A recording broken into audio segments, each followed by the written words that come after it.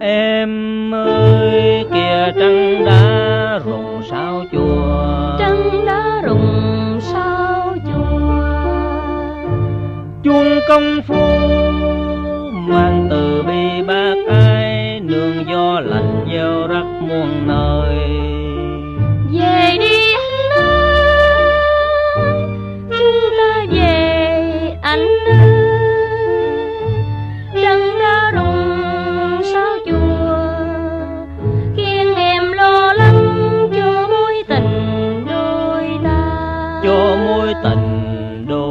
ta.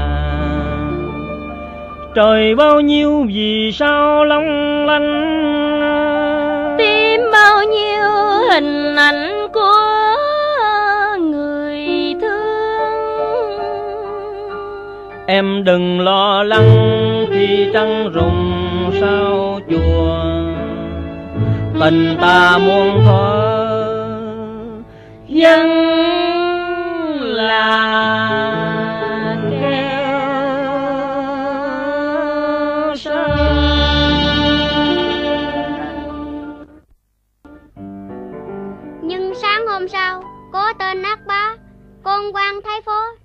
Ghẹo sổ sàng Dân chi tiểu thơ Cô ơi cô có biết chăng Tôi đã mơ hình mơ tình nên lên sinh Rình quanh chùa đình đời cô mình để tỏ tâm tình. Xin cô nương bàn bô chút tình thương.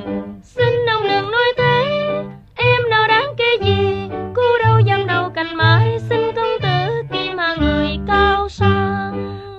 nói lâu cho ông tao ông giật trào mau Thật tôi thương cô nương lệ tuôn ngập sông tương. Thưa công tử Em là gái đã có chồng. Ồ có chồng mặc kệ có chồng. Còn duyên anh ẩm anh bồng anh vui mà. Bởi công tử chỉ công. Mày đừng xen chuyện của ông. Ông chớ nên nghinh ngang Kẹo treo vợ tôi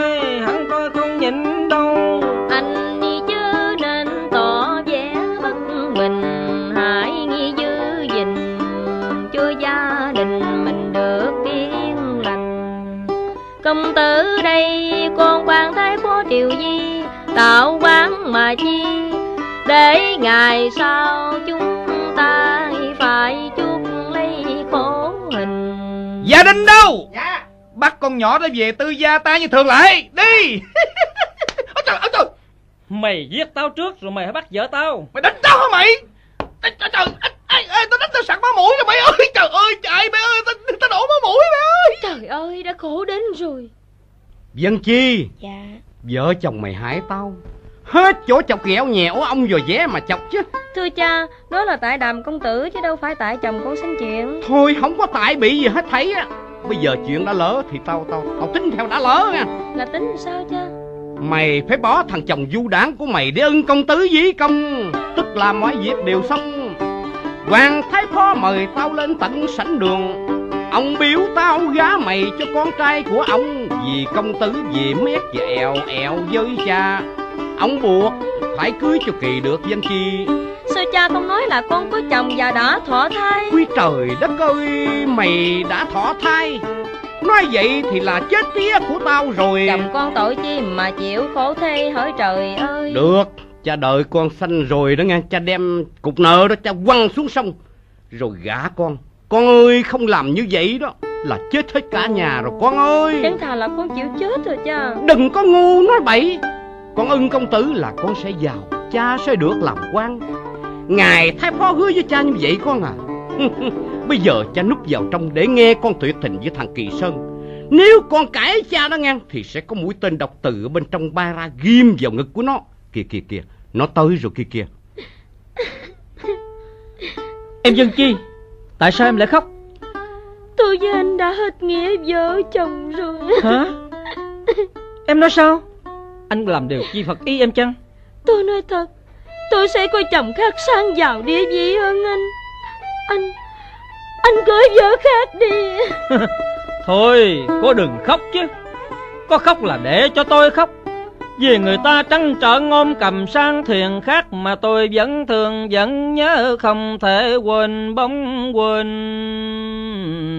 hình. Không quên lời thể Hải Minh Sơn, Quên giọng cười hơi thở. Nhất là không thể quên cái bào thái Hiền Cô đang mang nặng. Tôi chỉ tiếc sao quá tin lòng người mà tôi trao trọn quá tim non.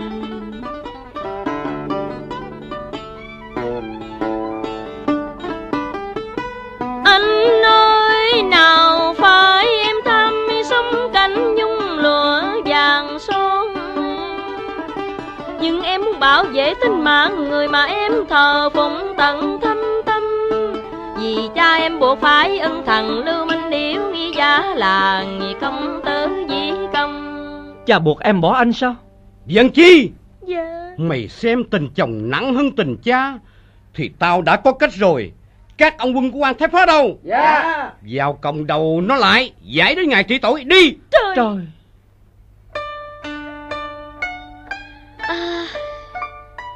20 năm cảnh người chồng bất đắc dĩ.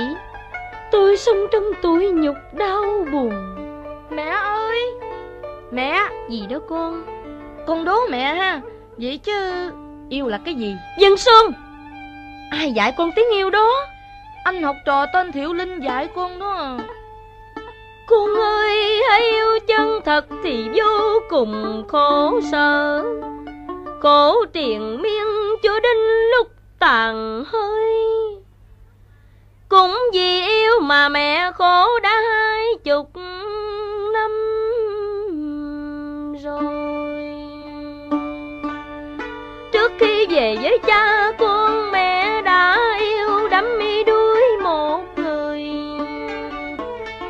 Mẹ phải căng răng xa lìa người ấy.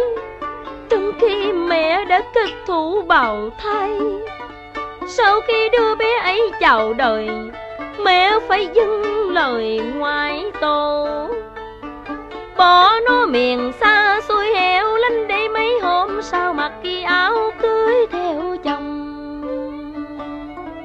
Mẹ à Còn đứa bé ấy sống hay chết? Và người thương của mẹ Hiện giờ ở đâu vậy mẹ? Mẹ nói cho con biết đi mẹ. Người thương của mẹ Người ấy ngậm đắng nuốt cay Sống với cảnh lưu đài. Sau khi nghe tin người vượt ngục, Thành kẻ của bốn phương trời. Con đứa bé, Con ơi, đứa bé sống chết mẹ nào đâu.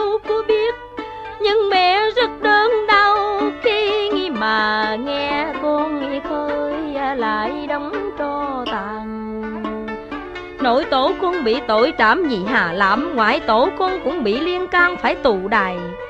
Còn cha con gia tài tiêu tan Vì mãi nghi vui với nghi men rượu bạc bài.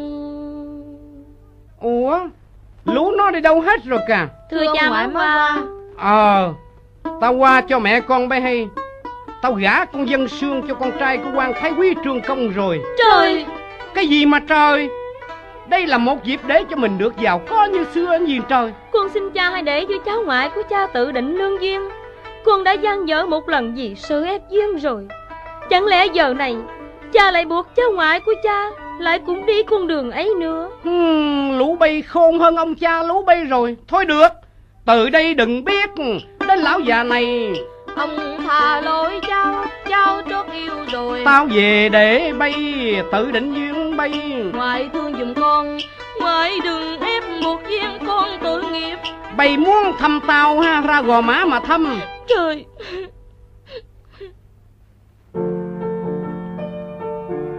Anh Thiệu Linh Mệt quá à Em đi không nổi nữa đâu.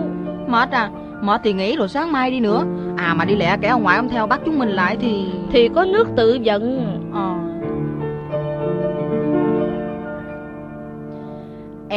dân sương thấy chăng? Trăng rụng sao chùa? Dần trăng rụng sao chùa?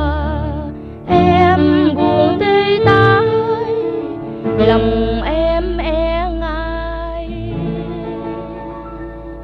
Cho duyên tình đôi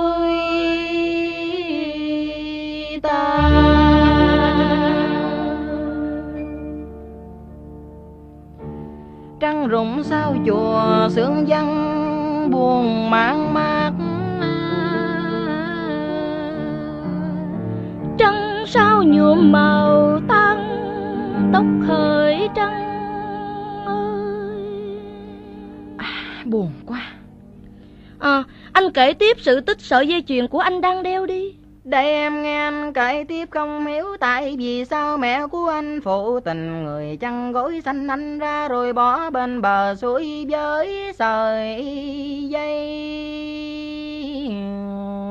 Chuyền anh xong được nhờ lòng bác ai của một lão thợ rừng. Rồi loạn lạc giết người cha nuôi lại được thầy giờ nhận làm dưỡng tử minh linh nhờ thế chúng ta mới làm rộn ông tơ bà nguyệt. Mua xe tơ còn ngại sự cố chấp của ngoại em. Không hiểu cha mẹ anh hiện giờ còn sống hay quá khổ đau đã xuống chốn diêm đài. Theo tên trong kỷ vật này thì cha anh tên kỳ sơn còn mẹ anh tên là dân chi. Ủa mẹ em cũng tên là dân chi sao lạ vậy? Ồ tên trùng tên có gì lạ đâu. Mẹ em cũng như mẹ của anh. Thương mà không được cái cùng người thương nên nghĩa vợ chồng. Phải nuốt lễ chấp tư lòng cùng kẻ khác. Khổ âm thầm suốt hai chục năm trường. Đời mẹ em chẳng khác chiếc thuyền yêu neo bến khổ xây dịch nay đến lượt chúng mình yêu và khổ. Thật rõ ràng đời là bể trầm luân. Anh ơi, em trốn đi là đợi sự hồi tâm của ngoại. Xin quân tử đừng chạm đến thuyền quyên trúc mai gần được là khi gian gần tiếng pháo du quý bên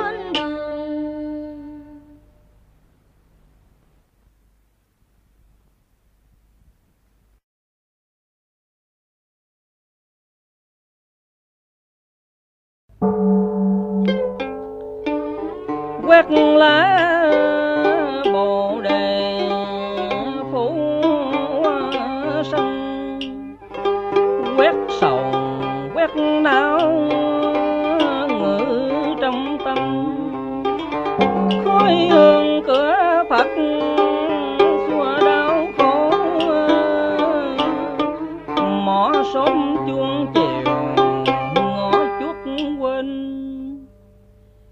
chúng con là Thiệu Linh và dân dương. Xin quề thưởng cho chúng con được bái lĩnh ít nhiều điều chân lý của đấng từ bi.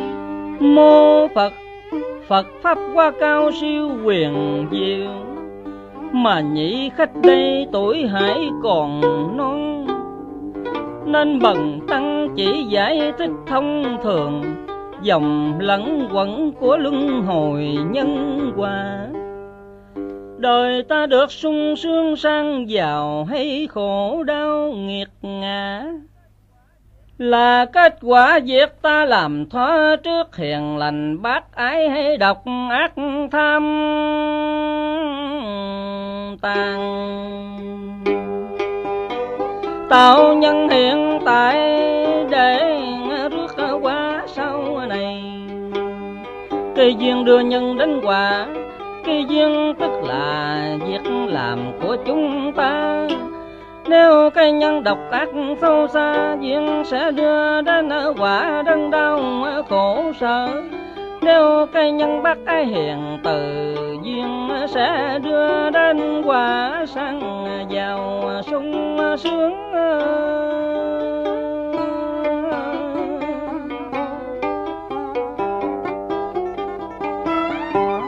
Bạch Thượng. Yêu có phải tội không mà khổ? Dạ còn nguyên nhân của nguồn khổ là ở nơi đâu?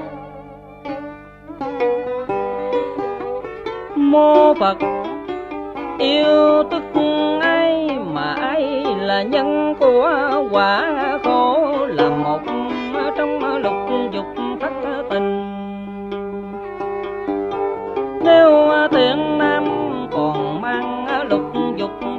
tình tề là còn gây nhiều tội lỗi. Gây tội lỗi là còn chuốc khổ đau.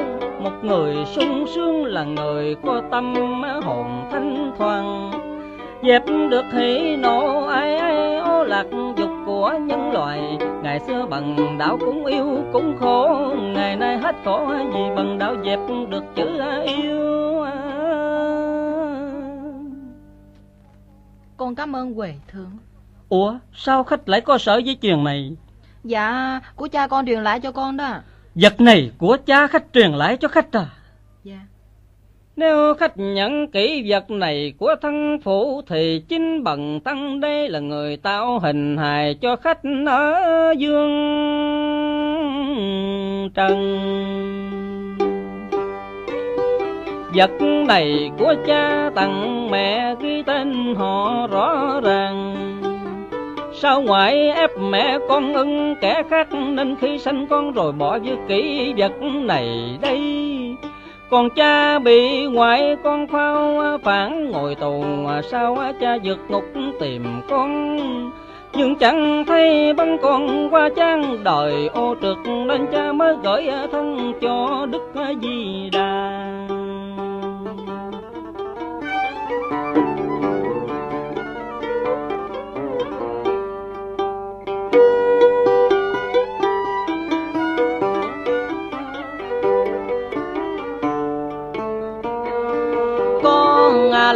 Thật chứng à, chiếu lòng mà gia kẻ chân thành. Nên cha con mình được à, cùng nhau sum họp đền bù những năm xa cách à, chia ly. Con xin cha cho con ở cạnh bên nó phụng dưỡng cha khi tuổi về chiều sức yếu. Đây là gió chưa cưới của con, xin cha nhận hai con quá lần đặng về mối tơ hai con nguyện ăn chay niệm phật, cầu ngoại của dân xương hôi cải ăn năn. Đừng à, bắt dân xương gả cho kẻ khác để nghe chúng con được kết mối duyên lành. Mẹ Sương đâu? Tao cấm mày đi kiếm nó. Nó đi theo trai, mày kiếm nó làm gì mày?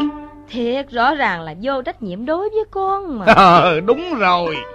Mày bất đắc dĩ mới lấy tao làm chồng, Cũng như tao bất đắc dĩ mới lấy mày làm vợ. Hai cái bất đắc dĩ đụng nhau ngang cái cốt, Khiến cho con sư nó nhảy tọt ra ngoài đời, Làm đứa con bất đắc dĩ. Bởi vì tao cũng không có trách nhiệm với nó mà. Tao ở với mày cũng như sạn với đường, Đổ lộn nấu chung Nấu mấy trăm năm nữa cũng không có thành chè. Sáng kia cũng vẫn là sạn kia Còn đường nọ vẫn muốn năm là đường. Như tao với mày dẫu ở một triệu ngày Thì mày ra mày, tao cũng ra tao Chớ có không thành được cái duyên vợ chồng. Tôi với anh ở đã có con có cái Tự mày mới có cái có con Như Nga tự đường có nước ngọt nước ngon. Còn tao là sạn ăn thua gì mày? Dĩ công đã Ai, trời, trời, trời đất ơi sao mày đâm tao mày? À, Mày lấy vợ tao ha. Ôi cha cha trời ơi đâm đâm đâm đừng ngoái đau quá mày Ôi, chết. Tinh nữ xin kính chào hòa thượng. Mô phật. Kìa Không phải hòa thượng đây là Kỳ Sơn chân không hiện giờ bần tăng là một đấng chân tu đã chung dị dạng trong tiếng chuông chùa tinh nữ đừng nên nhắc chuyện xa vời với bần tăng. Chữ yêu đương không riêng rẽ cho một người yêu tất cả nhân loài. Đang hụp lặng bế trầm luân Anh là bậc tu hành. Sao nỡ đành khe khắc như em? Mẹ Mẹ đi tìm con. Dân xương con. Sao con nỡ đành bỏ mẹ? Dân xương con cô bà sao? Trời ơi hai con là anh em một mẹ mà lại yêu nhau rồi. Trời! Mẹ Mẹ ơi con chết mà con cần nên quên hết là hơn. Mẹ ơi, quên làm sao được khi hình ảnh của anh con đã in sâu vào tâm não con rồi. Con nhớ từng tướng đi gian đứng dòng cười. Con không quên tức là con phạm lương thường Vì con là em gái của Thiểu Linh. Mẹ ơi, để con chết. Chỉ có chết mới giải quyết được mà thôi. Con trốn dư luận tuấn miền âm cảnh để nghi hồn được tự do à, ôm ấp mối duyên lành.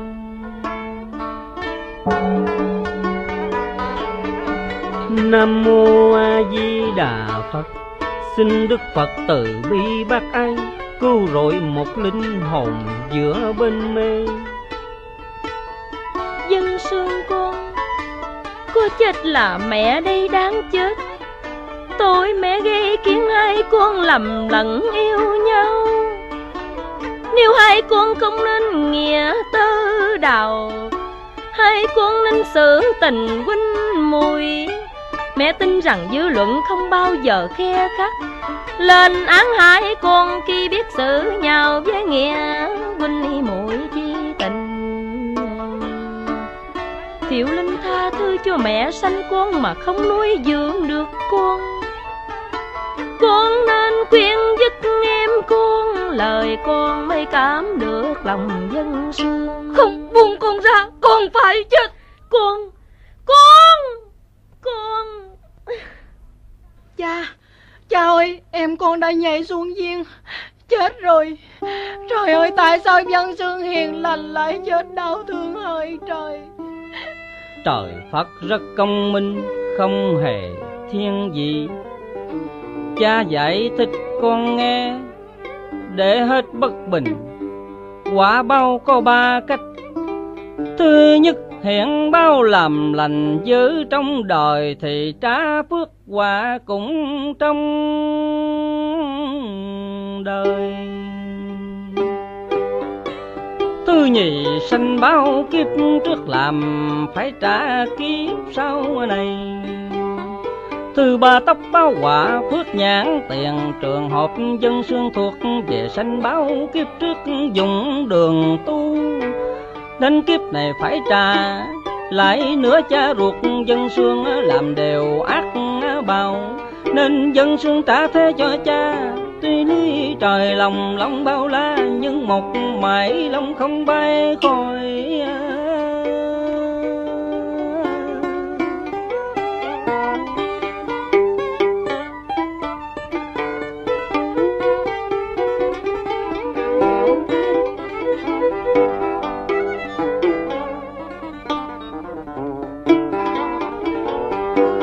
Con cũng yêu như dân sương, nhưng không bỏ mình thế thảm, nhờ con hưởng được đức của kẻ sanh thành. Vì cha sớm tròn đường qua phước lánh dữ làm lành thở bé con sống đời côi cúc ngày nay gặp được mẹ cha. Con hiểu thế con đừng thắc mắc con hãy về sum họp với mẹ con. Tình mẫu tử sưởi ấm lòng con lại, rồi thỉnh thoảng con lên đây để viếng thăm cha.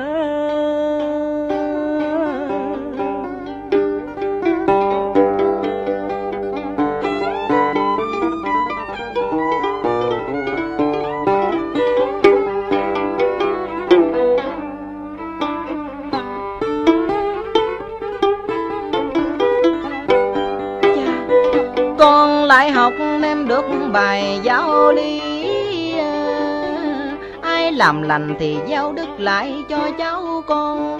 Như vậy thương con không phải cho nằm trên đống bạc ngà tiền, Mà phải làm phước khi làm lành để lưu đức. Hỏi các bậc mẹ cha đang có bốn ba tìm lẽ sống trong vô tâm ác bảo Đừng đổi chăn cơm người mà tạo chén cơm ta thời nghe nói giả của con